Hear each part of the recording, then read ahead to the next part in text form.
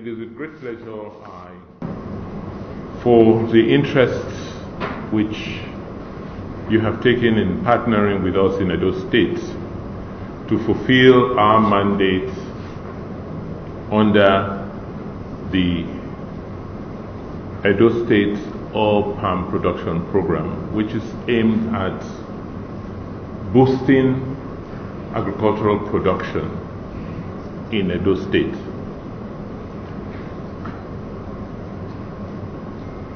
As was pointed out by the Protem Chairman of the ESOP Investors Group, this journey started a while ago.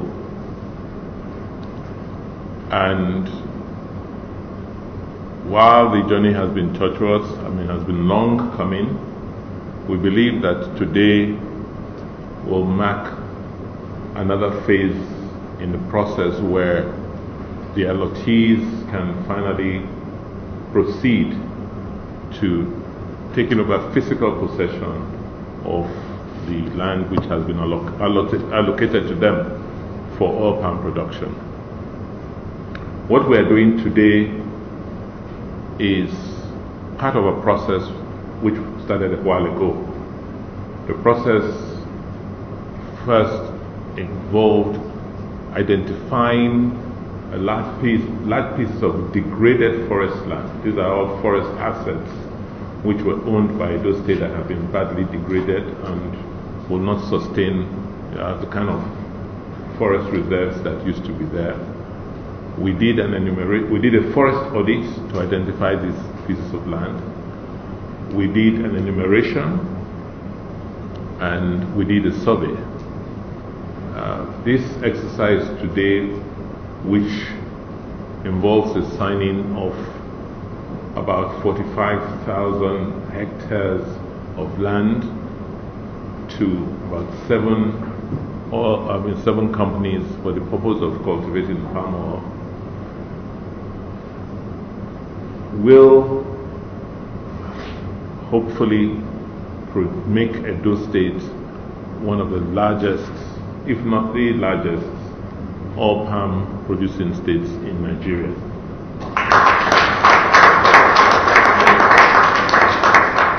Like I said, this is the first phase.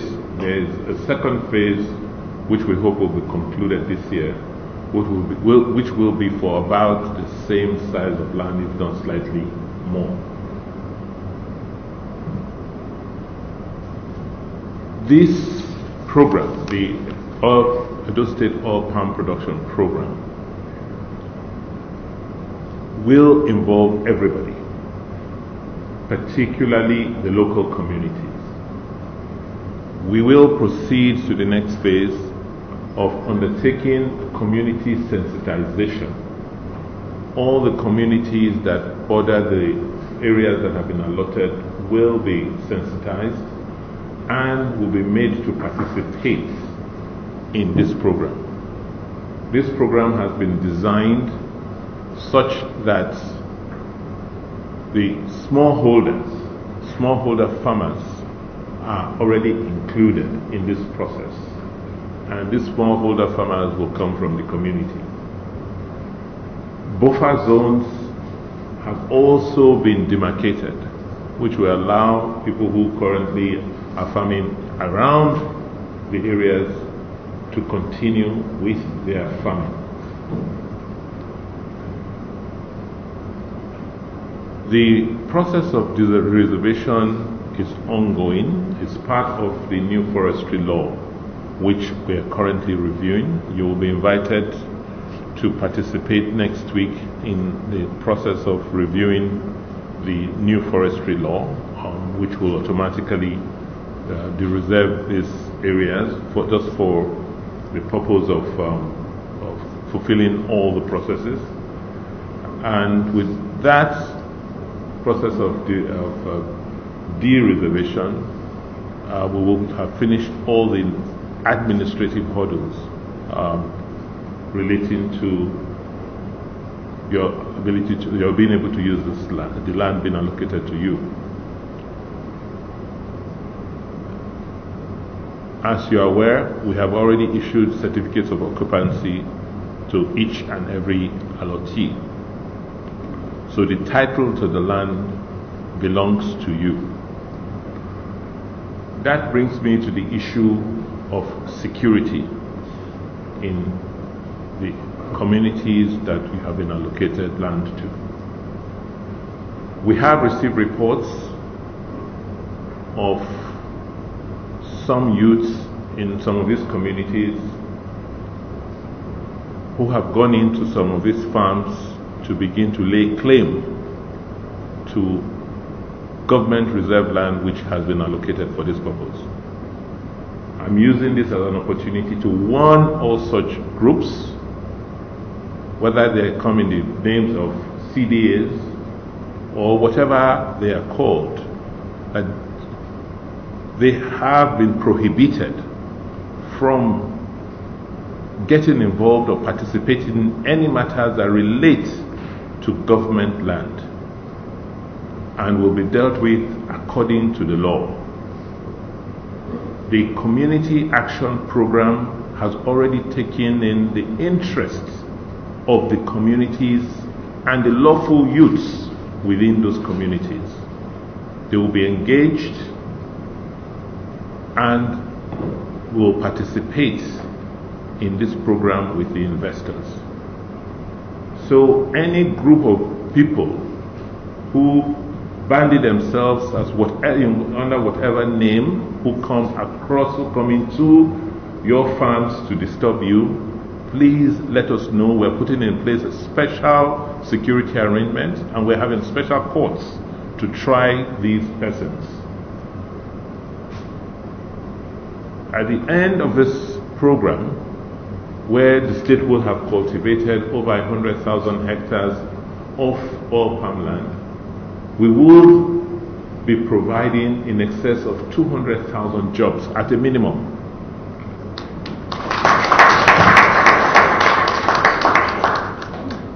It will make Edo State very competitive in, in the oil palm production business. As, as you may know, oil palm is the most prolific edible fat in the world today.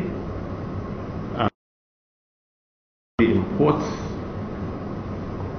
crude palm oil from Asian countries. Uh, so for us in Edo State, we are pioneering the process of ensuring that Nigeria becomes self-sufficient in the not distant future in production of oil palm. I want to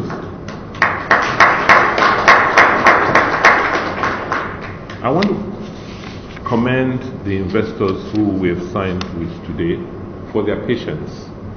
We know that this process has taken much longer than we anticipated.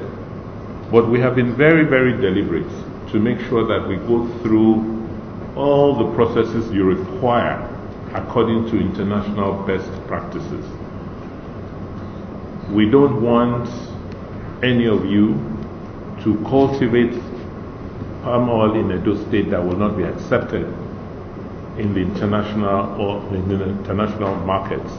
That is why we have ensured that we have been part of the uh, global oil palm program, um, the RSPO, such that oil palm that is cultivated in Edo goes through the RSPO process, that is, you know, responsible um, oil palm production, uh, production process. We have also ensured that the community action plan is consistent with what is expected that's why we will go be undertaking the community sensitization and to also ensure that the free and prior consent required to cultivate oil palm is also adhered to in Edo State. With all of these steps we have taken, you will now proceed to enjoy your investments in Edo. As a government, we will continue to create that enabling environment for your product, for your investments to yield the required returns. There's still the areas where we will work with you to provide infrastructure, um, such as access roads. Uh, the bulk of the allocations we're given today are within the Oriomo and Onwa axis.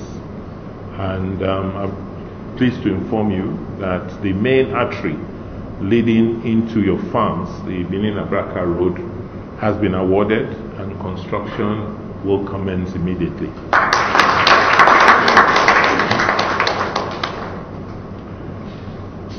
We are going to be um, we're going to be stepping up the activities of the ESOP office. I want to use this opportunity to thank each and every one of you for supporting the Edo State Oil Palm Production Process Office, um, which is a specialized office in the, you know, in the governor's office that will be focused on this program.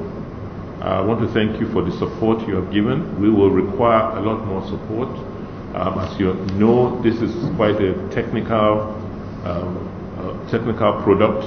Uh, we will, we're all going through a learning process together, and we will count on you to continue to support government with capacity, with the technical expertise they need to ensure that to all of us. Um, let me end this event of the signing of the MOU by congratulating all of you investors who we now see as partners to our government in Edo State.